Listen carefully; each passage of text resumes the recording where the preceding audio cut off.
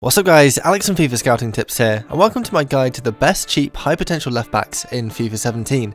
Today I'm going to show you my top 3 left backs, but for the full guide to every cheap high potential left back in the game, head over to FIFAScoutingTips.com. Every player there has a minimum potential of 80 and a maximum overall of 75 just to help keep things cheap.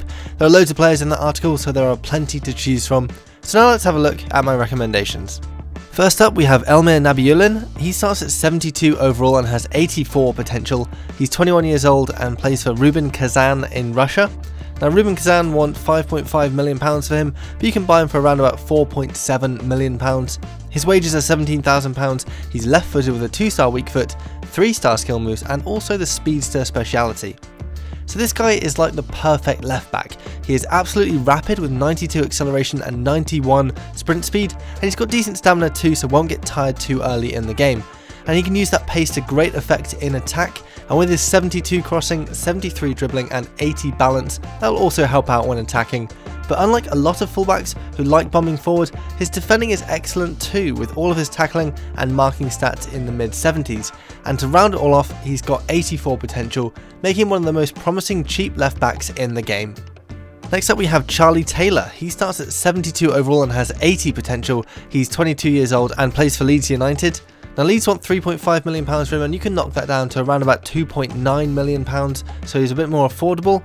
His wages are £13,500, he's left footed with a 2 star weak foot, 2 star skill moves and the early crosser trait. So if you need a fullback who can double as a centre back if needed, Charlie Taylor is a great choice. That's because he's tall at 6 foot 1, has good jumping and his strength isn't too bad either. But he's not just a mispositioned centre back, he's good at fullback too. He's pacey and has great crossing, so will be an excellent player on the break, and he can tackle and read the game as well. Plus he's got 82 stamina so will last all game wherever you end up playing him.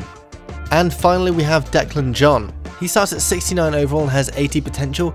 He's 21 years old and plays for Cardiff City.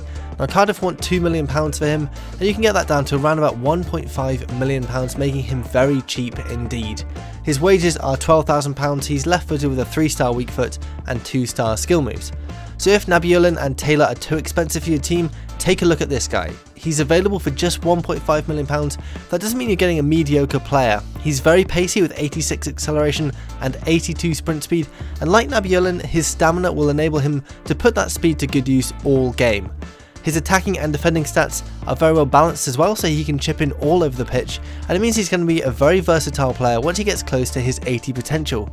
He's perfect for lower league teams who have restricted budgets. So I'm now going to show you how my recommendations did after 3 years of growth. I didn't do any player training, it's just the base growth, so remember that if you train these players they can do even better. So here is Elmir Nabiullin after 3 years of growth and what a player he is now. He's rated 80 at 24 years old, still uh, plenty of time left to grow even more and look at his stats. He's got 99 acceleration and 99 sprint speed, absolutely amazing. Going to be so hard to stop whether he's in a defense or attack, that's going to be amazing. His stamina is up to 75 and his balance is 82, both very useful stats to have. In terms of his technical stats, his defensive stats are excellent. 84 marking, 82 stand tackle and 81 slide tackle. Going to be so hard to beat him.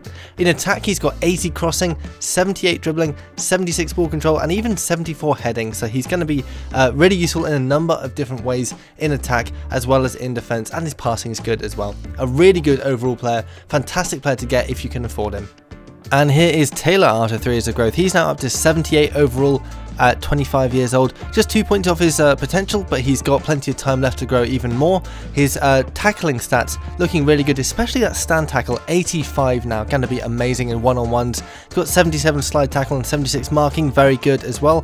His pace has gone up. It was good, but not amazing before, but now it's on 80, both sprint speed and acceleration, so very good there. And uh, 83 stamina as well. In fact, all of his physical stats bar balance are now green, uh, very good to have. His heading is good too, uh, 74 jumping, 71 heading accuracy, and he's 6 foot 1 as well, so useful there in the air, and 80 crossing, giving plenty of opportunities to his teammates when he gets to the byline. So very good if you want to play him at centre back, but also at fullback as well.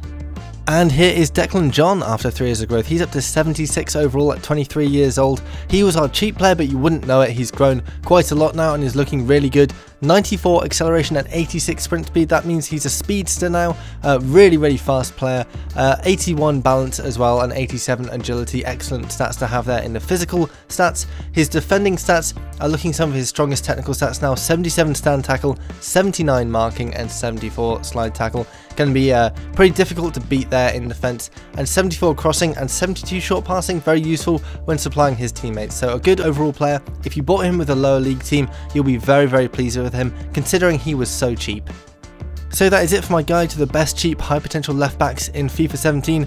Don't forget to go to FIFAscoutingtips.com to check out the full article that will have every left back in the game uh, with a minimum potential of 80 and a maximum overall of 75. That just helps keep things cheap so you know that if you're managing a lower league team you should be able to afford a lot of them. Uh, also check out all the other articles on that website and on my YouTube channel as well. There's all sorts of good uh, career mode guides there, uh, good teams for career mode, good players to buy, that sort of stuff, useful stuff to know. And uh, if there's anything else you want me to do on this channel or on my website, please do let me know. I do read all your comments. Uh, try to take it all on board. I'm always looking to improve what I do, uh, whether that's on the website or on the channel as well. Uh, so make sure you uh, subscribe to this channel if you enjoyed this video and thought it was useful for you. Leave a like as well if you enjoyed it. And thanks for watching. As with Technically Gifted, you have a much better chance of finding strikers with physically strong than with attacker. But as with Technically Gifted, there's a problem.